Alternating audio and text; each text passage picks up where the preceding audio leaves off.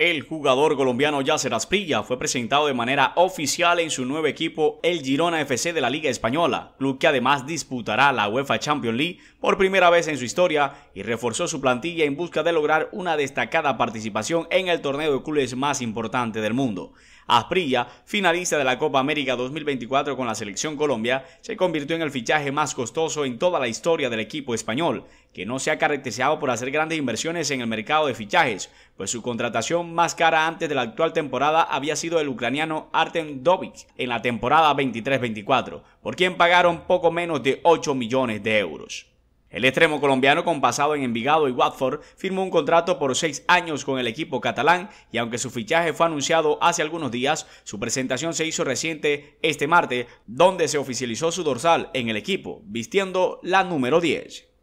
Yasser será uno de los cinco colombianos presentes en la Liga Española junto a Johan Mojica en Mallorca, John Solís en el Girona, Cristian Mosquera en Valencia y James Rodríguez con el Rayo Vallecano.